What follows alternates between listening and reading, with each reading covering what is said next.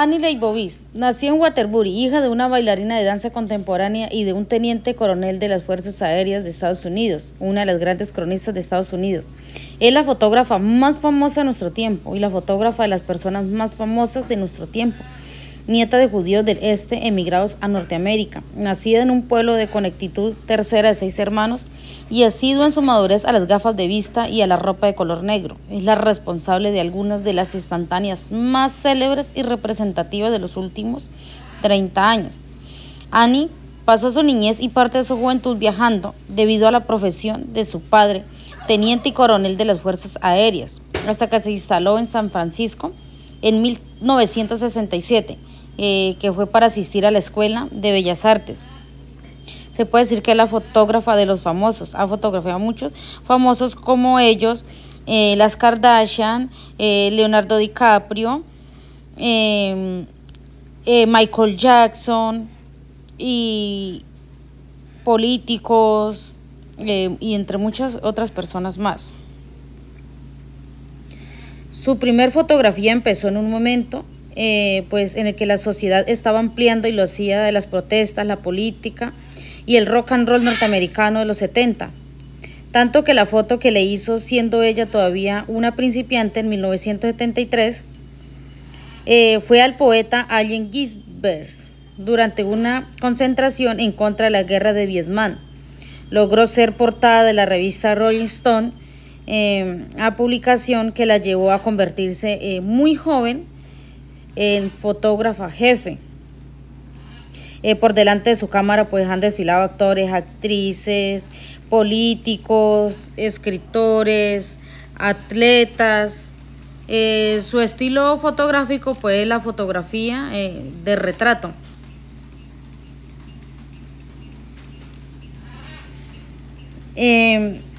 también eh, ella eh, acompañó en el año 1975 eh, a los Rolling Stones, que es un grupo de rock que fue de gira un tiempo durante al que pudo pues experimentar pues según ella misma los sabores y sinsabores del mundo de, de la noche de las drogas. Ella estuvo involucrada en eso de cocaína, de drogas, eh, por el estrés de su trabajo, porque pasaba la mayor parte del tiempo, eh, o sea, trasnochaba porque eh, andaba con esta banda de los Rolling Stones. Pero ella logró salir de ello. la imagen de John Lennon, que es en el año 1970 desnudo abrazando a Yoko Ono. Yoko Ono es la esposa de él. Eh, se hizo muy famosa esta fotografía porque ella fue quien la tomó unas horas antes de él morir.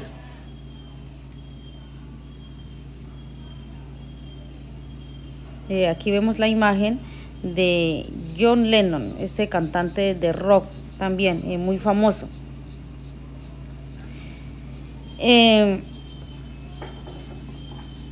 1980 retrata a Meryl Streep esta es Mel y a Dustin Hoffman, eh, que fueron protagonistas de Kramer para el número de abril de Vogue USA.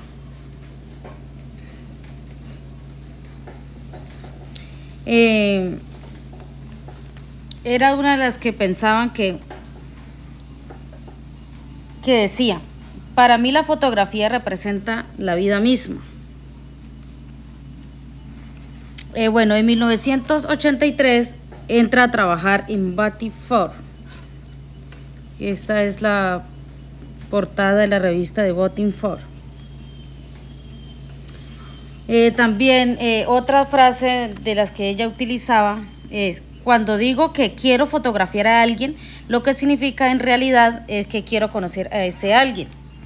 Esta es otra toma famosa, fotografía de la actriz Gulberg, que está sumergida en una bañera llena de leche.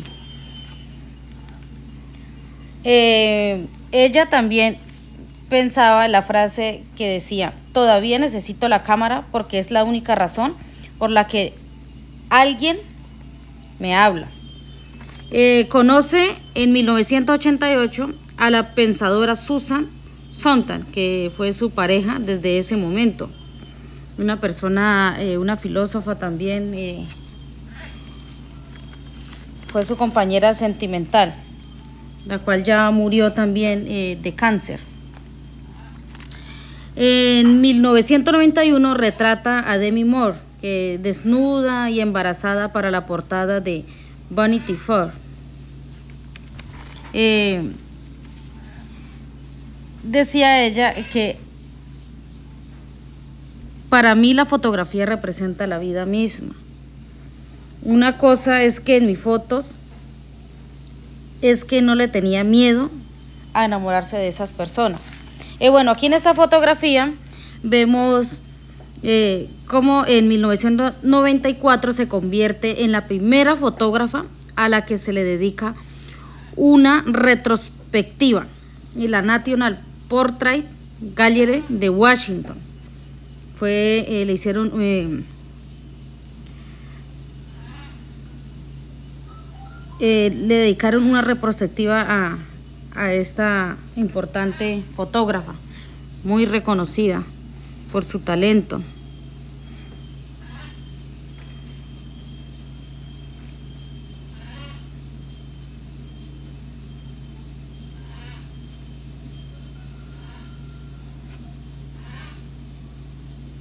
En 1996 ella eh, fotografía de la cantante eh, Patti Smith eh, para la portada de, su álbum Gone Again.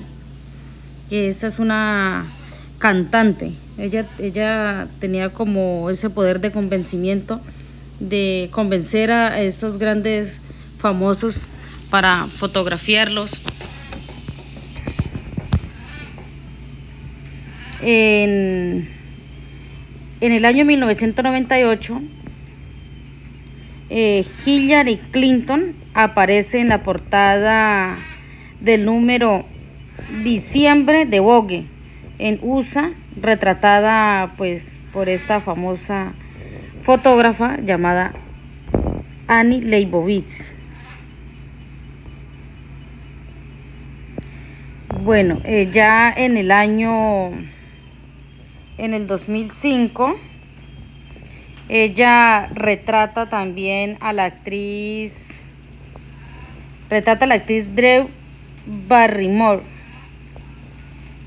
Drew Barrymore eh, para la portada de febrero del número de Vogue USA.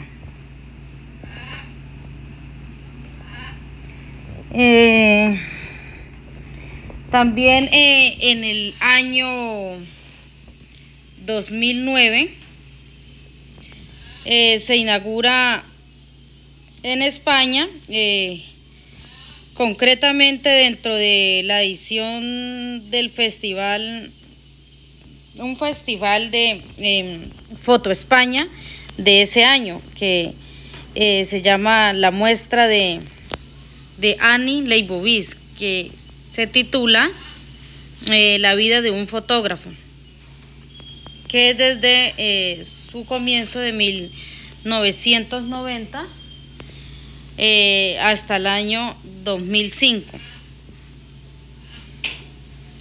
Eh, también en el año 2013 ella es galardonada como con el premio Príncipe de Austria de Comunicación y Humanidades grande mujer. Es galardonada pues, con el Premio Príncipe de Austria de Comunicación y Humanidades. Eh, aquí en esta imagen podemos ver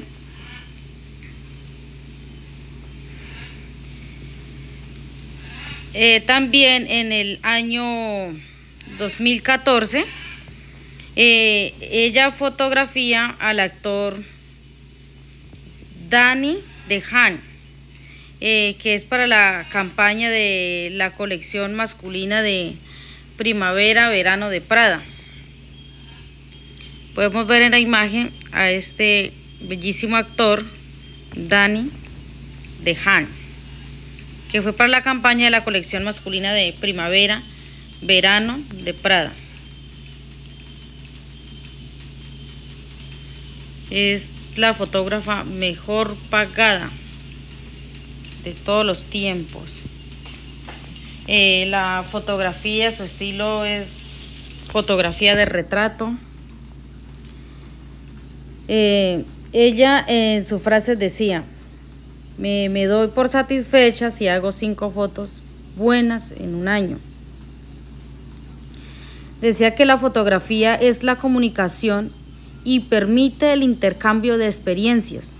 Nos permite mostrar a otros lo que vemos, las cosas que nos fascinan, las personas y los lugares que amamos y apreciamos.